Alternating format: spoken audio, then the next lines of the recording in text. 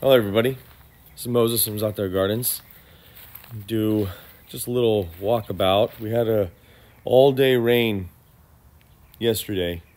The sun's going down right now. Beautiful.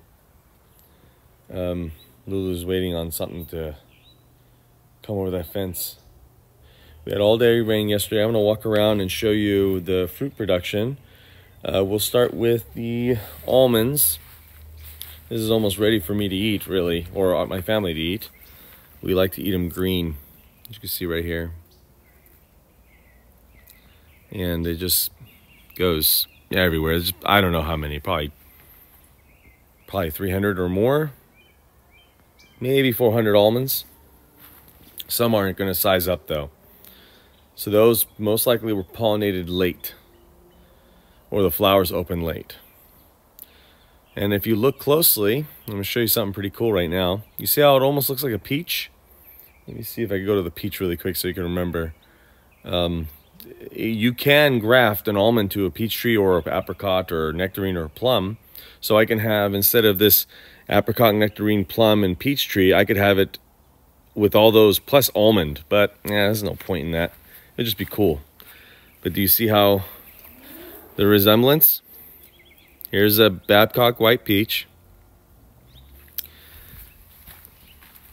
And there's the almond. See how they look alike? So let's go take a look at, well, there's a Babcock White Peach um, throughout all these, basically this, the four scaffolding, one, two, three, four. I got to get used to seeing myself in the, see, this is something you need to prune out. You see how there's two and one?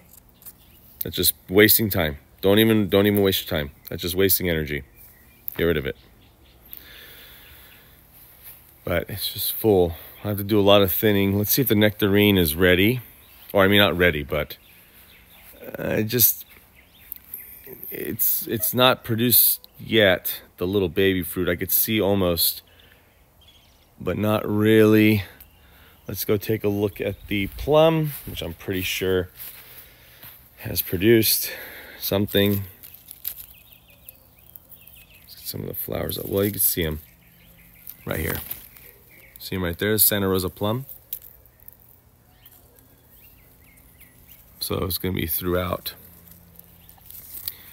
So not yet. Time to thin this out. Um, but getting there getting there. I like to thin it out to this, everything the size of my thumbnail.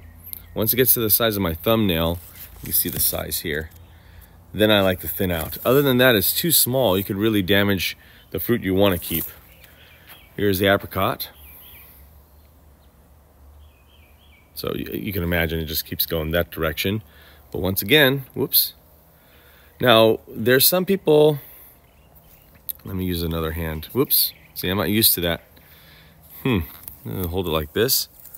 There's some people that want to break it off like that. So, and then keep the other side. But you can see there's a little bit of an opening right around here. You see the opening? So it's kind of shaky. Maybe it'll take, maybe it won't. You might get uh, infested by insects. Something close to watch. But this is about the time. See how it's almost it's the size of my thumb? The apricots? My thumbnail? This is the time where I would thin. But not right now. All right, let's walk over to the Flavor Delight Aprium. Is Lulu gonna show us the way? No editing. Just loving it. Especially this picture in picture, I don't want to edit too much. Let's see the heavenly white nectarine. Anything? Let me look around while you look at the flowers. Uh, it just it's barely peeking through. You can see right there, heavenly white nectarine, bleach white flesh. Okay, now I already thinned out this fruit. This is the Flavor Delight Aprium. Um, you can just see how much production is. I'll go up this branch. It'll just keep going. Um, I would say,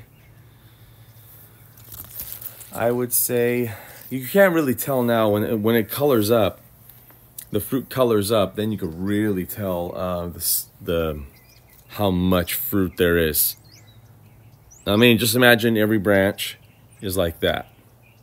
Now I still have to do some more thinning. I have to do some more thinning still. Um, but it's going to be a good year on the Aprium again. I would suggest anyone that hasn't purchased an Aprium of any kind, I would purchase one. Now see, you can see the size of all the Apriums. See how they're big like a um, marble, I would say, or a little bit, almost a ping pong ball size. You see this little one here, not not sizing up. That's something I would thin out, but I'll thin out later on. Oops, sorry. I'll thin out later on. See another small one after the film, after recording. Uh, I don't see anything. They haven't produced yet the prune. There's the apple. The passion fruit's doing really, really well. I gotta make sure all the stuff on the bottom is not growing out. Uh, I don't want any um, problems on the base. So this is pretty insane here. Again, this is the flat peach. Uh, I'll show you the production. So every one of these flowers that you see is going to be a fruit and most likely will not drop off. Uh, let me show you some better ones. You see all this? You see all of them? Those are all going to be flat peaches. Saturn peach, donut peach. Let me get a better view on this one. All of them. And they won't fall off either by themselves. So you see this is, we got a three and one in a way. One, two, and a three. One or two of these have to go. That's later on. This will take me, all those clusters you see are peaches. So in this view right here, within my ha hand's reach, uh, 30 peaches just right there. Now let me, so keep this in mind right here right? Now imagine that size, basically of my hand,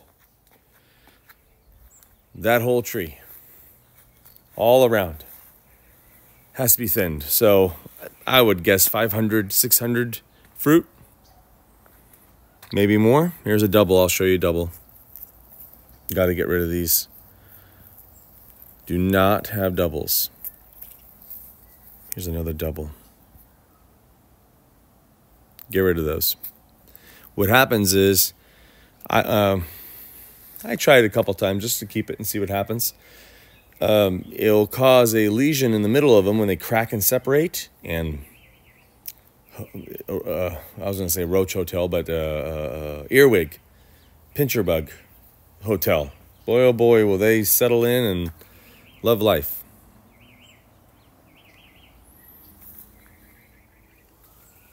Okay, um, Sapote doing okay, the white Sapote. This is Suebelle. Uh, still flowering. Not that big of growth on the fruit yet. There's some fruit, but they're very, very, very minuscule. You see some of them right there.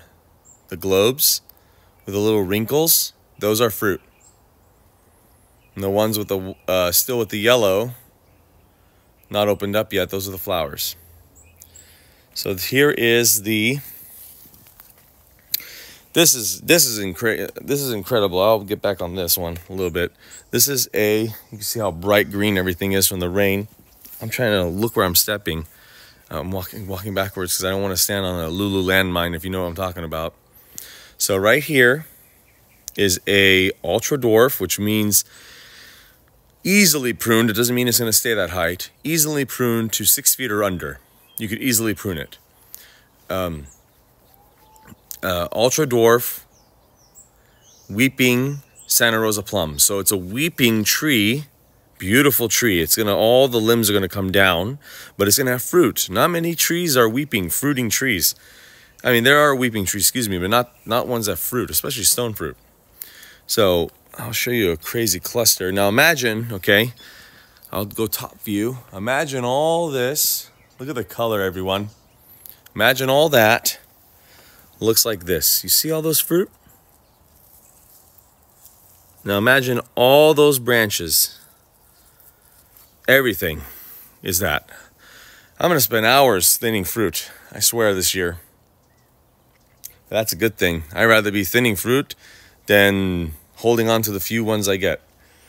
Okay, now the flavor, the Generique, the green sour Persian plum, still hasn't shown anything much. As you can see right here. That's as far as they can get. There's still flowers, so it's beautiful tree. Uh, I'm going to keep it this size. I have a base of it with a um, parsley, excuse me, just to make it pretty. And I'm going to eat it as well. Um, but I want to keep it this size because I don't want to I don't want to encroach onto the apple or the Dapple Dandy Pluot, which we're going to talk about right now. Now, with the Dapple Dandy Pluot, um, if you're a subscriber to me and you remember last year, where there'll be a cluster, maybe I'll link it in the video if I remember. Um, there's a like a cluster of grapes, like just hanging of like eight or nine humongous Dapple Dandy Pluots just holding on to one tiny little limb. This is such a tough plant and so um, giving, I guess you could say. So the harvest is huge. And I'll show you that in a second here. But something I want to show you first. Now we're still in the, we're, I don't even know if we're not even in spring yet officially. You see how, when I back up, let me back up some more.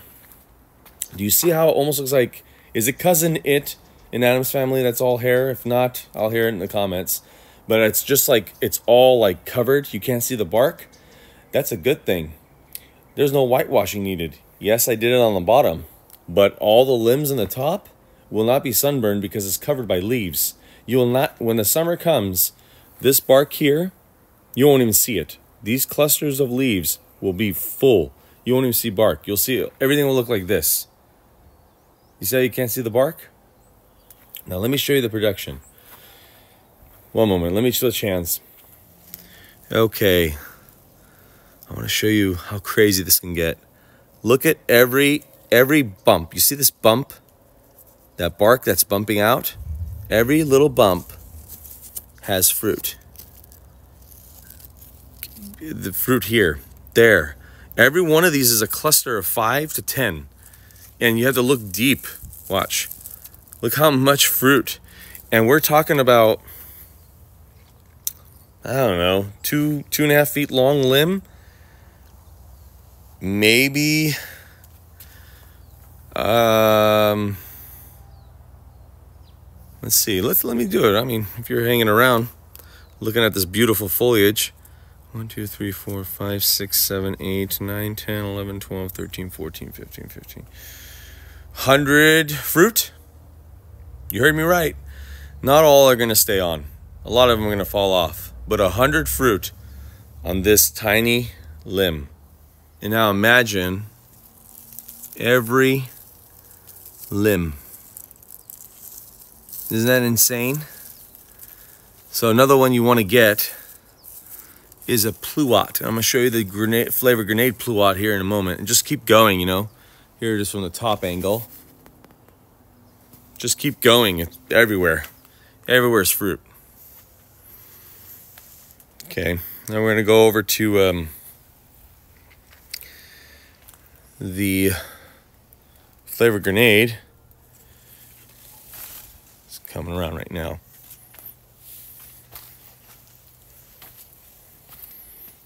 Hi, Lulu. Lulu. Come here, Lulu. She doesn't want to come.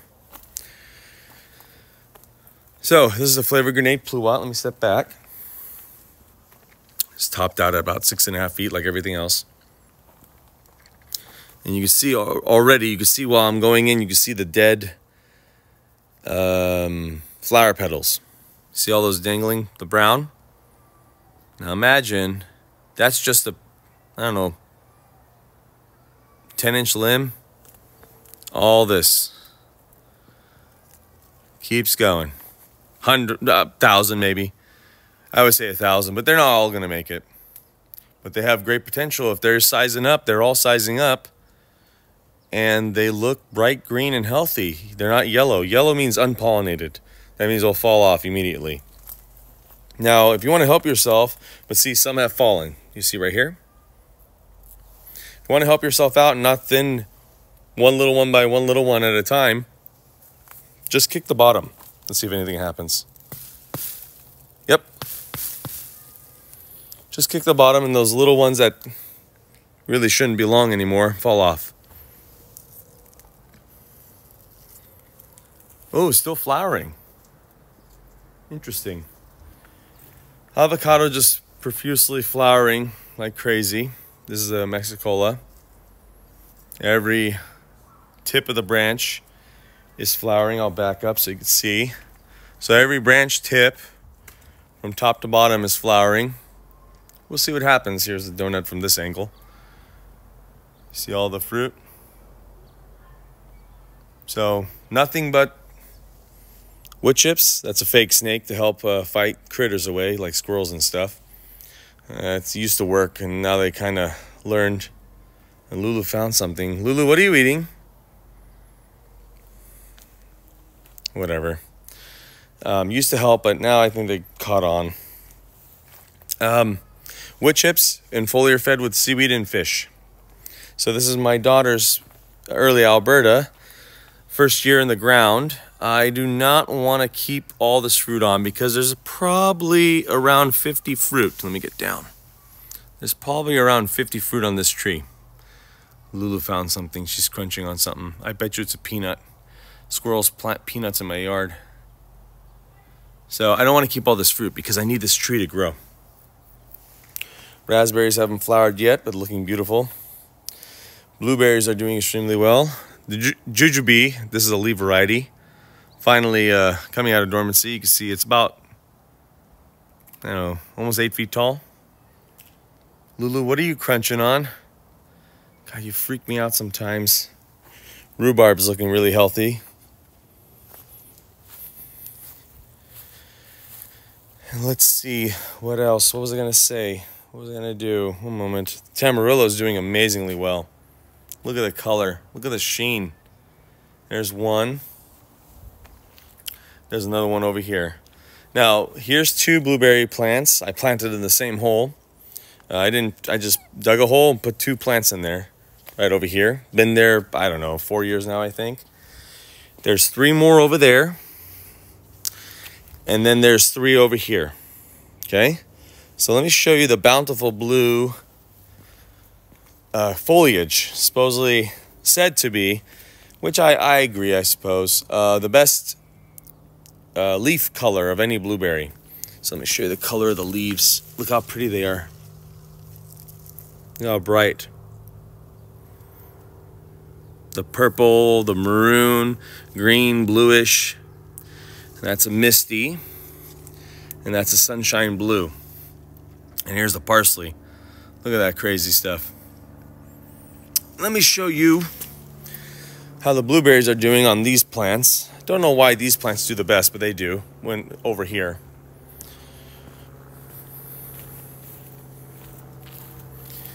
And it's so much easier to film this way instead of worrying about edits left and right. So here we go. You can see the production. Uh, I'll do a close up. See the production? This is a Misty. So was this. This is all misty. And this is a sunshine blue, a sunshine blue. So keep in mind, this is an acidic loving plant. Yeah, I'll show it like this. This is an acidic loving plant surrounded by alkaline loving plants. Um, Za'atar plants, Thymbra spicata, Origanum syriacum. Are savory, which can handle seven. But some of these, like Thymbra spicata or Origanum syriacum, they want uh, eight or higher. But yet, this 4.5 to 5.0 acidity or pH level loving plant will produce like crazy.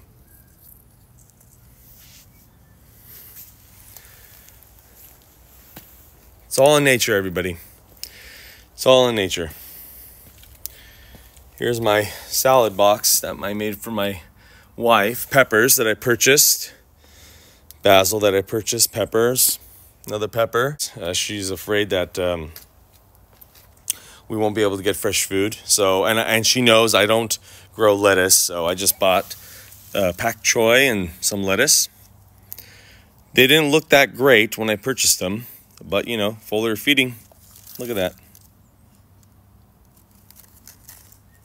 And look at the crunch. Amazing, huh? Asparagus is doing very lovely. Got to pull back some. Here's the pink lady. Always flowers first. Pink lady. Used to be yellow transparent, but pink lady takes off. This is a graft that I did. I have a pink lady tree, but this is a graft of pink lady.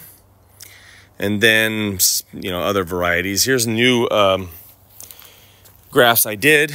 Oh, this is a, my favorite apple. Now, I did this just because of the rain. The black tape started unraveling, so I just wrapped it with that pretty much a rubber cord. I don't know how you call it, but this is a McIntosh. McIntosh, Macintosh, and a Macintosh. So hopefully one of those three make it. That's all I need. All I need is one. Because once it grows, I could just cut from it and cut from it and make more. Uh, this is a yellow trans. This is a Fuji. Yellow transparent. That was grafted right here. See the Y or the V? Um, what else? The pink lady. And I think that was it on this tree. Okay, then I did more, another variety I bought from Fedco Seeds. This variety, I was told, sorry, I was told to purchase because it's one of the best tasting, is called King David. So this is a King David. Another one. And another one. This is a Gala grafted right here. Fuji. This tree is a Granny Smith. That's a Fuji. I just got it from here and just grafted it over here. And this right here is a Honeycrisp. All right, everybody. Oops, the hand. So here's a staghorn sumac. Uh, it's a male and a female, so you can see different color leaves. Uh, very delicious. It's a spice like a sour berry or a sour cluster of berries that you add to, like my channel name, Zatar. You add it to the Zatar to make it a little bit sour in a pot. It's quite invasive, so be careful.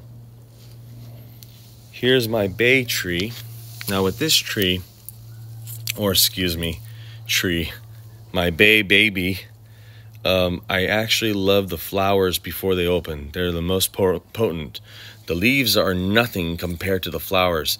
Once it flowers and it doesn't open yet, that has the most oil and flavor and scent in it of all.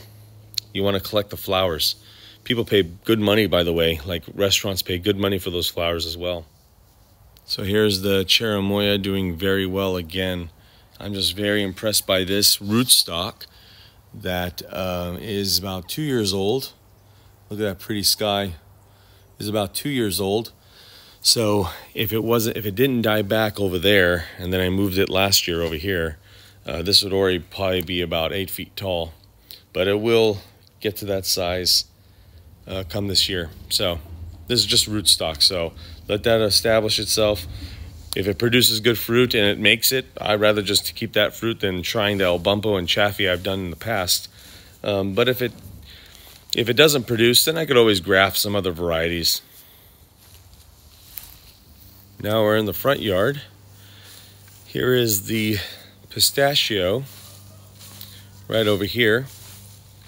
So this, I don't know what's what. This is a male, I'm assuming, and this is the female. As you can see right here. Pistachios and almonds are all around here. About a, millions and millions and millions of these trees are around here. So it is pushing growth. Here's a beautiful fig. Violette de Bordeaux. Just producing beautiful shiny clusters. I mean, look at this. Isn't that amazing? New leaves. Here's the Stella you can hear my baby in the background maybe crying. Mommy's inside though. But uh, here's the Stella cherry. You can see how much it's producing. Look at the craziness, huh? Isn't that crazy?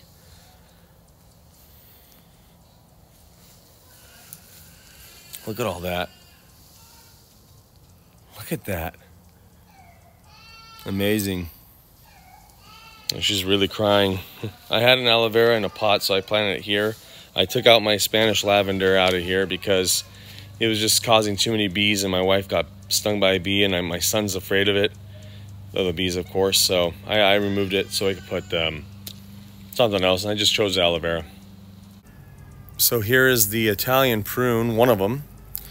I really opened it up. I pruned it open so I can have a lot of production of flowers and it worked because last year was horrible. It's I think three years in the ground now, I believe and it did horribly last year, really bad, sickly.